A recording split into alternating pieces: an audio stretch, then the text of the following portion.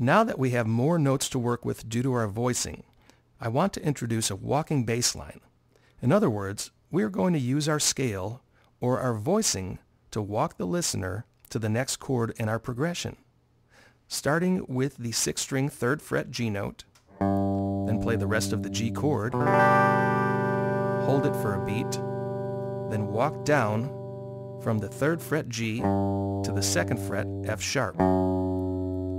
You'll play the G note for 1, strum for 2, hold for 3, then come in with eighth notes for the G and F sharp, counting 4 and 1, 2, 3, 4 and.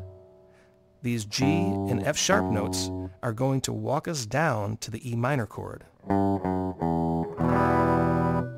where we'll simply play the open 6 string E note, then strum the rest of the chord. Then at the end of the measure, we'll play the octave E on the 4th string 2nd fret, then down to the open D. This E minor rhythm is the same as the G.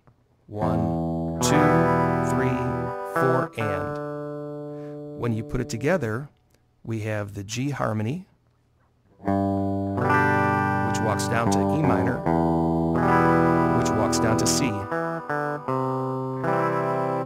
Holding the C chord, pick the C note on the 5th string 3rd fret, then strum the rest of the chord. Now we're going to walk up to D. We're going to start on the 5th string 2nd fret B, 3rd fret C, then pick the 4th string D note and strum the remaining chord.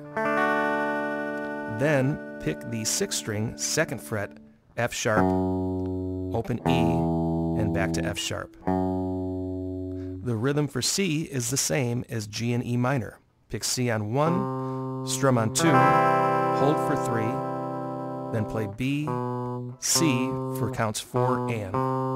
1, 2, 3, 4 and. D is slightly different. Pick the D note for the 1 count, strum for 2, then start counting eighth notes, 3 and 4 and. So in this case, you're holding the three count, but coming in at and, four, and for F sharp, E, F sharp. One, two, three, and four, and, which loops us back to the G rhythm.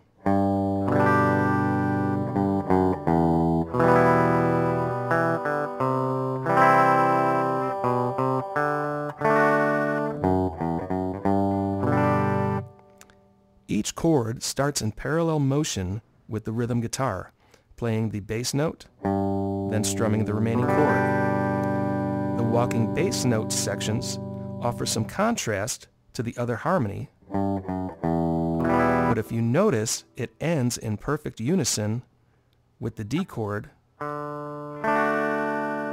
playing F sharp, E, F sharp, with one guitar playing the notes on the first string and another on the sixth string.